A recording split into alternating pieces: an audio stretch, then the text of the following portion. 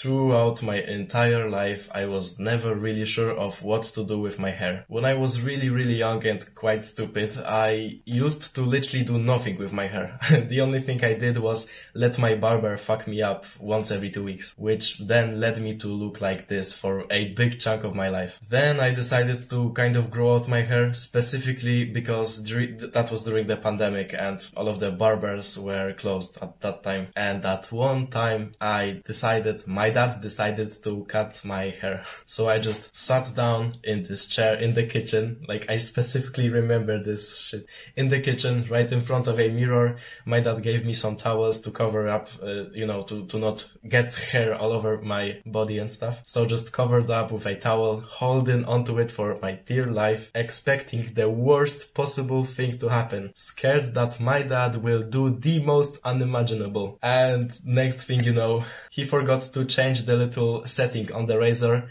and went like, he fucked me up so bad, bro literally went like and left a bald spot on my head that was there for literally like three weeks. For three weeks straight, I literally had like a bald trail at the back of my head over here. You could literally park a car inside that shit. No joke. And so there was this like mirror right in front of us, right? And I swear the look on my dad's face literally made me tear up. Sitting there and crying like a motherfucker. Anyways, as my hair grew out and the bald spot disappeared, I decided like, fuck it, you know, it's the pandemic. I don't want my dad to fuck me up once again. I decided to grow it out even more, which actually was one of the best decisions I've ever made in my life. Turns out my hair is naturally curly if it's long enough. You know, I've always had a very kind of short haircut, which led my hair to be very flat and without any volume. Once I grew it out a bit more, the hair started to curl, like twist on the ends, which obviously looks much better. Like I just said, fuck it, let's just grow, grow, grew my hair out during the whole pandemic because I was literally traumatized from the razor incident. So I grew it out, took some better care of my hair, which I'm going to explain later on in this video, and noticed that my hair actually had the potential, like always had the potential to look so good, but I just wasn't, wasn't paying attention. So I went from having this pussy denier haircut to finally looking quite good, at least in my opinion. But the story doesn't end there. Fast forward about two years. I grew it to the point where it literally was like this long. I had like an afro, which again made me look like a pussy denier. I ain't even gonna hold you, bro. It made me look like I stink. And it's so funny, bro, because, bro, I swear, the moment I cut the hair and went back to this haircut, right? So I cut it, now it's like looking like this the moment I cut the hair, literally the same week I cut my hair, I got two different girls wanted to speak to me. It was like literally they were, I don't know, maybe waiting for me to cut this shit out. I swear to God. Maybe they were, I don't fucking know. Either way, I finally got to know what actually hairstyle suits me, what works works the best for me. This hairstyle gets the best results. I guess you can say that. Is it weird to say that? It is kind of. So now let's teach you how you can also get to know what hairstyle suits you the most and how to manage it and style it in order to have like this effect of looking good throughout your whole life in order to have strong, healthy looking hair. Today I will tell you exactly everything I know in terms of optimizing your hair in order for it to look the best it can. Sometimes I really do feel like I can't even speak English. Was that even like properly like gram grammatically? I don't fucking know.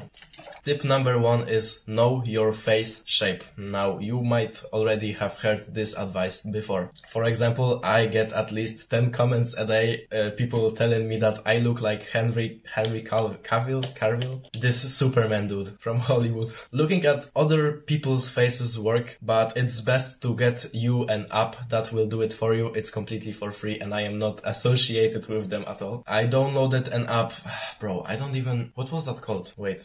I think think its name was High face Face shape detector. I don't know, just search, search for an app that has a face shape in its name.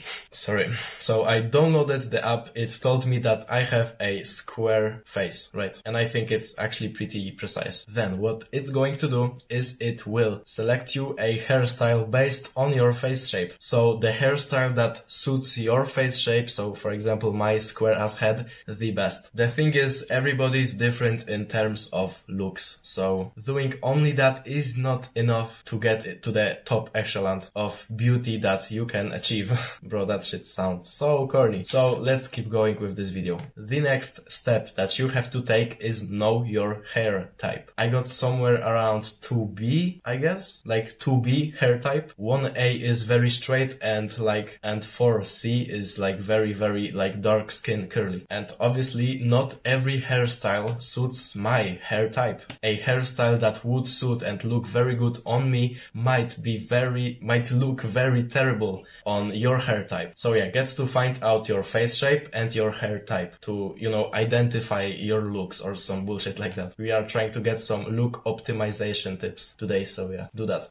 So the third part of today's video, I'm going to tell you some actual tips for still stylization, stylization and your hair looks. Never not style, never not style your hair. An exception is obviously if they are very short, so you can't even style them. And another tip is to never use water when styling it. Use a product like a cream or a gel. I use this one cream that I don't really want to show you right now because it's in the bathroom. Maybe I will put up a picture of it uh, right here. And another tip is never, and I say never, go to sleep with damp or wet hair. A crucial mistake I actually used to do which led me to look very bad. It led to my hair look terrible all day. It will really dry up your hair and make it look so unnaturally like unhealthy, you know? And another tip that some of you might really say that is kind of bullshit or just disagree with me on this.